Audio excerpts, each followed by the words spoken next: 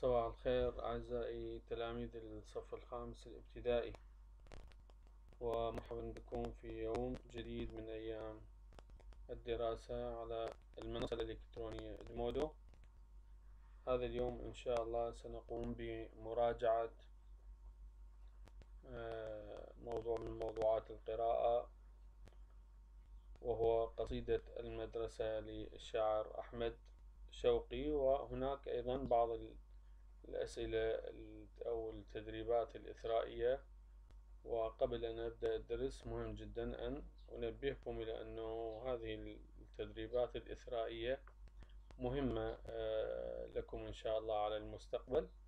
أتمنى أن آه، تنتبهوا عليها وأن آه، تنظروا لها بعين الدقة والاهتمام. يعني لا تدرسونها هكذا كأنها مثل تمارين الكتاب وإنما هذه التدريبات إن شاء الله سيكون لها حضور في الأيام القادمة إذا آه، عدنا إلى الدوام الميداني إن شاء الله. القصيدة هي كما قلنا للشاعر أحمد شوقي وأحمد شوقي كلكم يعني آه، تتذكرون. تحدثنا عنه لما كنا ندرس بالدراسة الميدانية وهذه بطاقة تعريفية صغيرة عن هذا الشاعر الكبير. وهو أحد شعراء العربية الكبار آه، توفي في القرن العشرين القرن الماضي. آه، اسمه أحمد شوقي ولد في القاهرة في السادس عشر من أكتوبر يعني يعني الشهر العاشر من آه، سنة ألف وثمانمائة وثمانية وستين وتوفي في الرابع عشر من أكتوبر سنة ألف وتسعمائة واثنين وثلاثين وهو كاتب وشاعر مصري يعد من أعظم شعراء العربية في العصور الحديثة وأيضا يلقب ب عفوا يلقب بأمير الشعراء. آه هذه القصيدة التي سنأخذها اليوم عنوانها المدرسة. أقرأ هذه القصيدة كلها كما تتذكرون. آه أخذناها للحفظ وقرأناها. الآن نقرأها لنعيد تحفيز ذاكرتنا من جديد. يقول الشاعر أنا المدرسة تجعلني كأم لا تمل مني ولا بد لك اليوم وإلا فغدا مني. أنا المصباح للفكر أنا المفتاح للذهن أنا الباب إلى المجد. تعال ادخل على اليمن.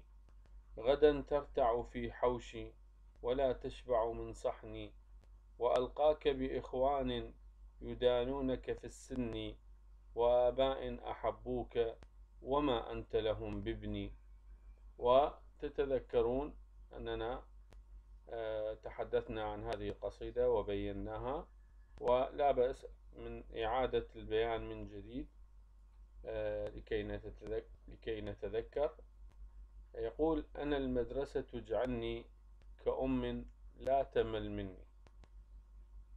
آه، هنا الشاعر يتحدث بلسان المدرسة. وكأنما المدرسة تقول للقادمين إليها الوافدين إليها للتلاميذ. تقول لكل واحد منهم اجعلني كأم لك لا تمل مني. يعني آه، لا يداخلك الملل والضجر من آه، الذهاب والعودة يوميا الدوام صباحا مثلا أو الدوام مساء وهكذا. ممكن أنه الاعتياد على حالة واحدة آه، يعني هذه حالة إنسانية. الإنسان إذا اعتاد على نظام معين يبدأ يشعر بالملل كأنما المدرسة تقول له يعني لا يداخلك الملل آه، لابد لك اليوم يعني لابد أن آه، تجعلني إلك اليوم قم وإلا فغدا مني يعني أنت شئت أم أبيت فالغد سيكون مني أي المستقبل سيكون مني فبالتالي لا بد لك أن آه، تأتي إلي وتدخل إلى آه، إلى باحتي إلى ساحتي وتبدأ بالدراسة والمعرفة لماذا؟ لأنه المستقبل من أين يخرج؟ يخرج من المدرسة أيضا تستمر تقول له أنا المصباح للفكر يعني في كأنما تصور لنا أو يصور لنا الشاعر أنه الدنيا مثل حالة الظلام آه، أو الفكر عموما يعني كشيء مظلم ولكنه المدرسة هي كالمصباح آه، يستعمله الفكر للسير في هذا العالم يعني. بالنتيجة لما يكون عندك مصباح مثلا في الليل أنت لا تتعثر لا تقع في حفرة ولا آه، آه، تخرج خارج آه، الطريق الذي يوصلك إلى هدفك. هذه نقاط ثلاثة مهمة جدا. هذه النقاط الثلاثة تقول لك المدرسة أنا أحققها لك. أنا التي أجعلك لا تتعثر في الطريق. أنا التي أريك الحفر في الطريق. أنا التي أجعلك تسير على جادة الطريق نحو هدفك ولا تذهب يمينا وشمالا فتضيع أيام عمرك هباء بعد أيضا تقول أنا المفتاح للذهن. المدرسة بما فيها من أساليب تعليم وأساليب تدريس ودروس متعددة وعلوم متعددة هي في الحقيقة تفتح أذهاننا لنتعرف على علوم ومعلومات جديدة وأيضا على مهارات جديدة. نطور المهارات التي آه، جئنا بها من بيوتنا. مثلا هناك من لديه مهارة في اللعب لديه مهارة في الرسم في الفنون في المسرح في أي شيء أو في في القضايا العلمية والاكتشافات. يستطيع أن ماذا؟ يستطيع أن ينميها ويطورها في المدرسة. أيضا يقول الشاعر على لسان المدرسة أنا الباب إلى المجد تعال ادخل على اليمن. فمن أراد أن يصل إلى آه، مكانات عالية ومقامات عالية فلا بد له ماذا؟ لا بد له من دخول باب المدرسة وهي تقول له تعال ادخل على اليمن أي على البركة. آه، تحدثه وتقول له غدا ترتع في حوشي ولا تشبع من صحني. وهنا يعني آه، يشبه الناس ترتع أين ترتع في يعني آه، يشبه المدرسة كأنما هي آه، مرعى كما يعني كالمرعى الذي ترتع فيه الأغنام تأكل وتشرب وكذا وتنمو تتطور فالمدرسة أيضا هي بالنسبة للإنسان هي كالمرتع يدخلها لكي آه، يأخذ من علومها ويأكل من طعامها المعرفي وينمو ويحصل على كثير من الأشياء. كلمة الحوش كما تتذكرون قلنا نظام المدارس القديم.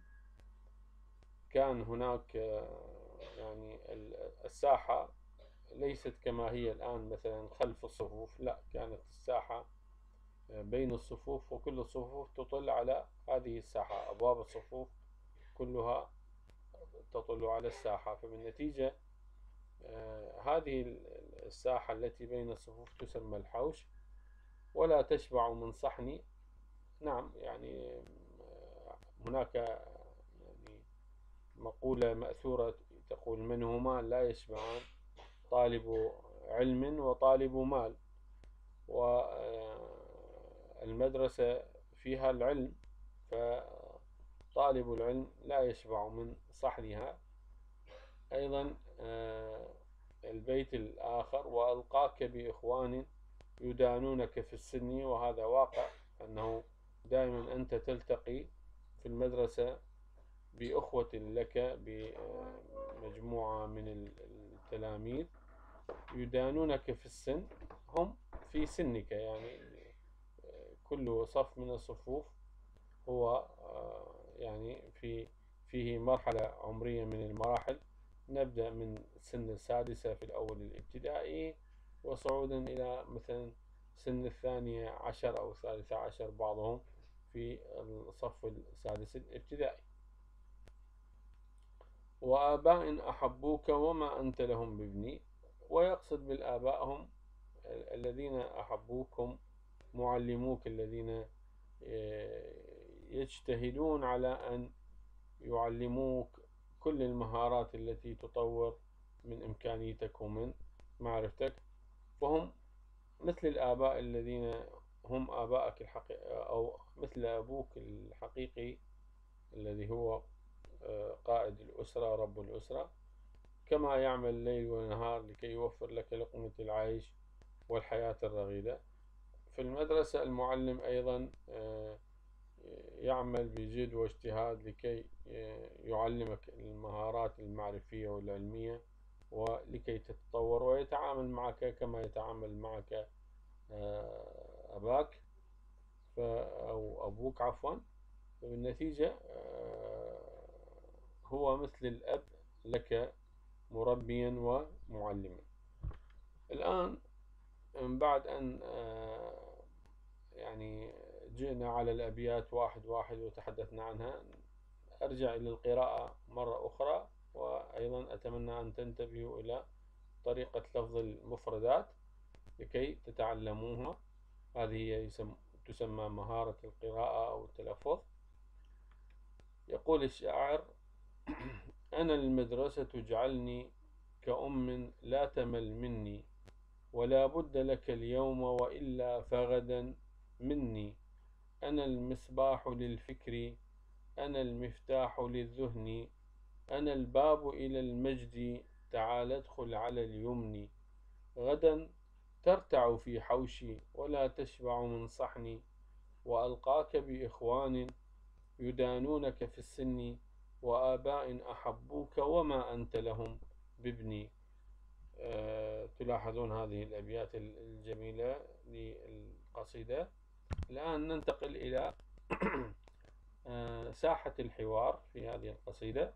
هناك ثلاثة أسئلة في ساحة الحوار. السؤال الأول يقول لماذا تحب مدرستك؟ الجواب أه الذي يعني يحضرنا في هذا المقام. نقول لأنها بمقام الأم تربي فينا سلوكنا وتهذب أخلاقنا وتزودنا بالعلم النافع. السؤال الثاني تقدم المدرسة إلى ذهن التلميذ غذاء. ما هو هذا الغذاء؟ غذاء العلم والمعرفة والتهذيب أيضا الخلقي من باب التربية. التعرف على أساليب في المعرفة. كل هذا كل هذه الأشياء المعلومات الجديدة كل هذه الأشياء هي الغذاء الموجود في المدرسة. السؤال الثالث والأخير من عن الشاعر بالبيت الأخير؟ آه، وآباء أحبوك وما أنت لهم بابني؟ آه، أكيد المعني هنا كادر المدرسة التعليمي. فكل شخص فيها في هذا الكادر من معلمين ومعلمات وحتى إدارة أيضا آه، هو قائم على تربية التلميذ وتعليمه للمهارات سواء الجسدية أو المهارات الفكرية. القضية مو فقط يعني مثلا متوقفة على المهارات الجسدية ولا أيضا على المهارات الذهنية وإنما آه، كلا الأمرين نجدهم في المدرسة. ننتقل إلى الآن إلى التدريبات الإثرائية وهذا هو التدريب الأول. التدريب الأول فيه آه، ثلاثة أسئلة. آه، أنا قمت بالإجابة على سؤالين الأول والثاني والسؤال الثالث تركته لكم آه، كواجب أو كتدريب بيتي. أنتم تقومون بعمل هذا التدريب وترسلونه كي أصححه لكم ومهم جدا كما قلت لكم الاهتمام بهذه الأسئلة الإثرائية. السؤال الأول يقول ما تعرف الفاعل؟ إجابة السؤال تقول الفاعل اسم مرفوع تقدمه فعل ودل على الذي فعل الفعل. مثال على ذلك مثلا أقول آه، جاء محمد إلى المدرسة فنجد أن محمد اسم مرفوع.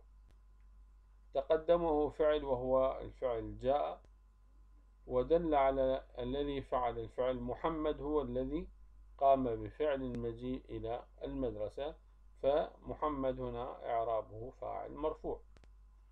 السؤال الثاني يقول إذا كان الفاعل مؤنثا فكيف تكون صورة الفعل إذا كان ماضيا؟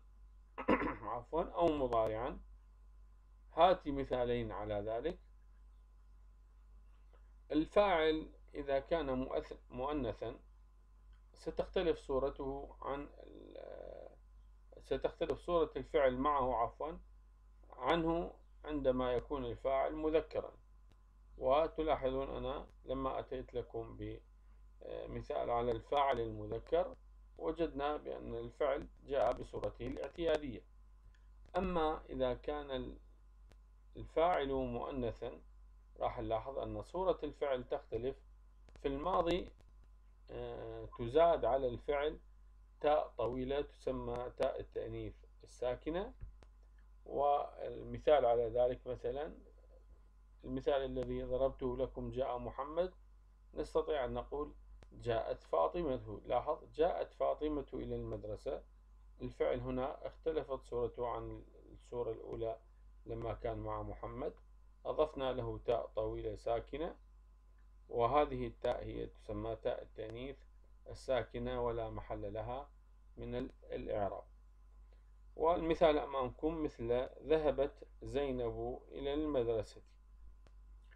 أيضا تزاد تاء في أول الفعل إذا كان مضارعا. إحنا في لما يكون في حالة الماضي التاء الطويلة نزيدها أين؟ نزيدها في آخر الفعل. لكن عفوا إذا كان الفعل مضارع التاء لا تكون في آخر الفعل وإنما تكون في أول الفعل. ومثال على ذلك أقول تقلع الطائرة من المطار. تحط الطائرة في المطار. زين تحلق الطائرة في الجو. فتلاحظ الآن هذه التاء اللي موجودة في بداية الفعل المضارع هي دال على أن هذا الفاعل ماذا؟ دال على أن الفاعل مؤنث. لأنه لو كان مذكرا لا استبدلنا التاء بالياء مثلا. أو بالهمزة واضح؟ ال... كما قلت لكم التمرين الثالث اللي هو يقول أدخل الأسماء الآتية في جملة مفيدة. أيضا لابد أن تكون آه هذه الأسماء لما تدخلها في جملة مفيدة تضبطها بالشكل. آه وعلى أن تكون هذه الأسماء موقعها الإعرابي فاعلا. يعني تضعها في جملة تكون فيها فاعلا وتضبط الجملة بالشكل. هذه الأسماء هي الطائرة البحر الأزهار الشاعر الرسام. هذه خمس مفردات. آه، حاولوا أن لا يعني تلاحظوا يعني هنا الفاعل الطائرة.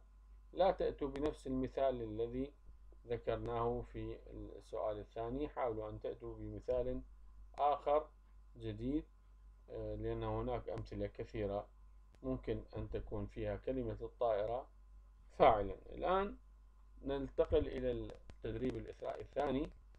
آه، يسأل يقول ما معاني المفردات الآتية الواردة في محفوظة مدرستي؟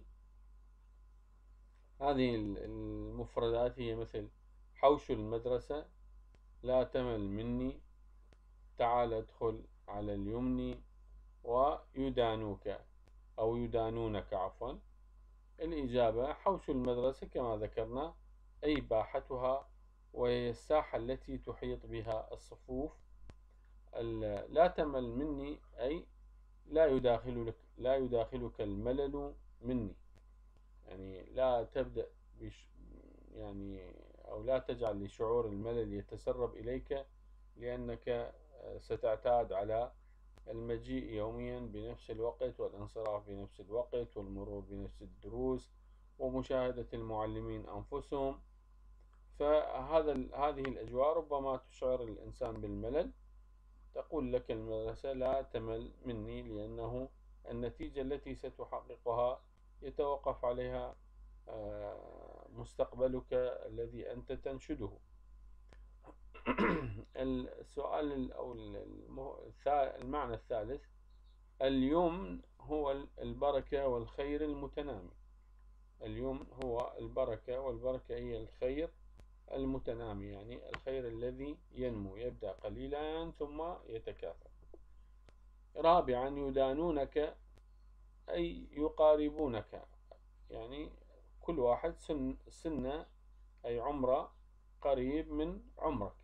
فهذا هو معنى يدانونك هذه هي معاني بعض المفردات اللي ربما لا تعرفونها في القصيدة. الآن نأتي للتدريب الإثرائي الثالث والأخير. وفي هذا التدريب آه، نريد أن نتعلم آه، مهارة كتابة التعبير. وفي مهارة كتابة التعبير كما تعلمون آه، يعني هناك مهارات كثيرة ستنكشف منها هل استفدنا أو هل نعم هل استفدنا من قراءتنا لموضوعات القراءة للتعبيرات التي نسمعها؟ هل استوعبنا الأفكار التي تطرح؟ طريقة شرح الأستاذ هل استوعبناها؟ آه، بعد ذلك أيضا ستظهر مهارتنا في الخط عند كتابة التعبير ومهارتنا في الإملاء ومهارتنا في آه، الإفادة من مواضيع القواعد وصياغة العبارات صياغة صحيحة. كل ذلك سيكشفه موضوع التعبير ولذلك هو موضوع مهم جدا. في هذا التدريب الإثرائي يقول اكتب تعبيرا يبين المعاني التي أرادها الشاعر في خمسة أسطر أو أكثر مستفيدا من العبارة من العبارات المذكورة بعد البيتين في قوله أي قول الشاعر أنا المصباح للفكر أنا المفتاح للذهن أنا الباب إلى المجد تعال ادخل على اليمن. آه هذه هذان البيتان أريد من كل واحد منكم أن آه يعني يتعرف على معانيهما. شرحنا إحنا الأبيات كلها. ممكن أن تعودوا مرة أخرى وتسمعوا من جديد لكي تتعرفوا على معاني الأبيات. وبعد ذلك آه بعد معرفة المعاني تقومون بكتابة تعبير آه، بخمسة أسطر أو أكثر آه، عن هذين البيتين آه، هناك بعض العبارات يمكن أن تساعدكم تلاحظونها أمامكم. في النقاط الأربعة اللي موجودة. العبارة الأولى تقول تعد المدرسة بوابة لتعلم العديد من المهارات التي تنير الفكر وتجعله قادرا على تنظيم الأفكار وترتيبها وصياغتها صياغة واضحة. أيضا العبارة الثانية تقول من المدرسة يستطيع المرء التسلق إلى ذرى المجد وبلوغ الدرجات العالية. غالبا ما تكون المدرسة بابه الأول. آه، النقطة الثالثة أن أساليب التعليم التي يتلقاها التلاميذ تجعل أذهانهم متفتحة قادرة على التفاعل والعطاء النافع. النجمة الأخيرة أو النقطة الأخيرة تنادينا المدرسة لندخل إلى رياض العلم من بابها والدخول عليها سيكون فيه البركة والخير لأنه دخول لطلب الخير والصلاح. هذه العبارات ممكن أن تستفيدوا منها في كتابتكم لهذا التعبير. في نهاية الدرس آه، أتمنى أن تكونوا قد آه، استفدتم من هذه الإعادة في الشرح والتوضيح للقصيدة. أو للمحفوظة أيضا. عملنا يعني تنشيط لذاكرتكم. أنتم حافظين القصيدة أكيد. الآن صار تنشيط لهذه الذاكرة لكي تستعيد.